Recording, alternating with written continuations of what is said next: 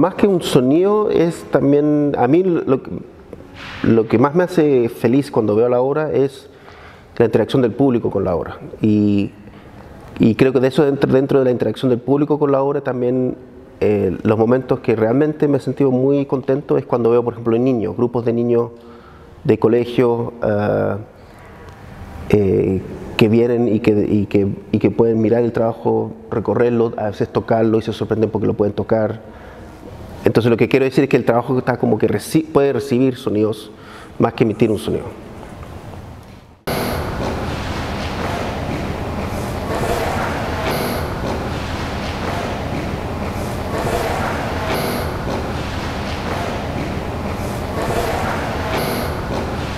La colaboración se puede entender de distintas formas y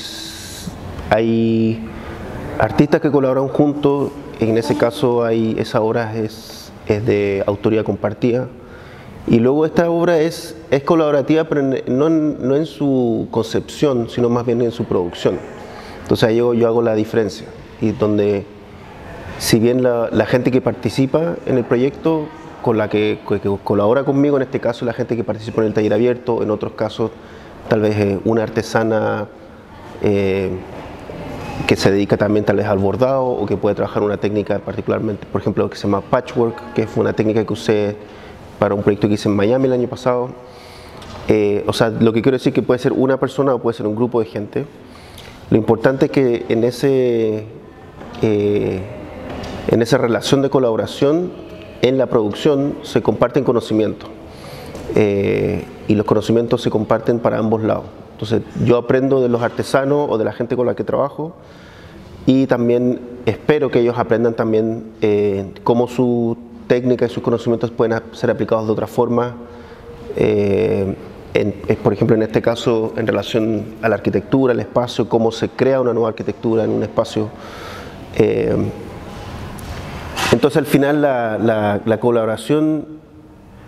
a mí no me preocupa tanto el tema de la autoría, o sea, obviamente hay una, es, es de mi autoría el proyecto, pero esa, esa autoría en el fondo deja espacio a que otra gente aporte, aporte conocimiento, aporte tiempo, aporte eh, su manualidad eh, y, y por eso yo creo que es muy importante eh, dar eh, crédito a esa gente. Por aquí en la exposición hay una lista de todos los que participaron en el taller. En el libro que vamos a editar también hay, hay imágenes de la gente con que trabajado en distintas partes, eh, utilizando distintas técnicas, distintos materiales, siempre en relación a lo textil. Entonces es un proyecto que está siempre como un poco eh, en constante movimiento, yo diría, porque el, las cortinas algunas están puestas fijas colgando, pero otras, como estas que se pueden mover por el público, otras que cuelgan de un punto, giran por sí solas con la circulación del aire. Entonces ahí también se crea un diálogo con el espacio, que es una cosa muy sutil, pero que existe. Eh, y, y, eso, entonces al final es un proyecto que tiene un punto de inicio, que es la, la abstracción geométrica, y luego esa como abstracción geométrica y lo formal se va expandiendo hacia lo social hacia el contexto. Esa es como, el, esa es como la trayectoria y ese trayecto eh, se ve afectado por todas estas otras cosas que hablé, las, técnicas de ese, de ese contexto, las materialidades de ese contexto, los conocimientos de ese contexto y el espacio también. El espacio e incluso el público, porque al final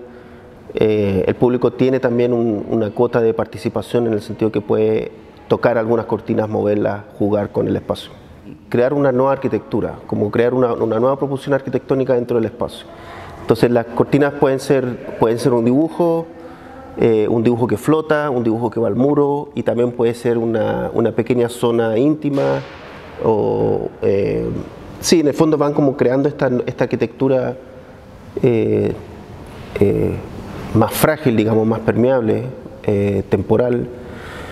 y que al final también es una, es una crítica o una conversación con la arquitectura, del, en este caso del museo, con el espacio y con la institución.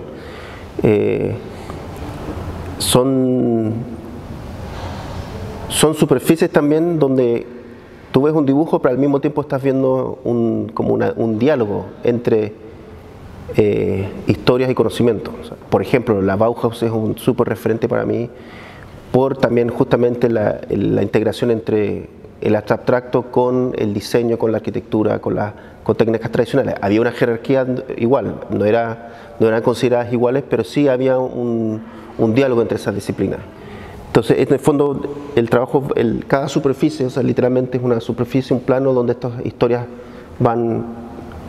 conversando, dialogando y en el fondo creando algo nuevo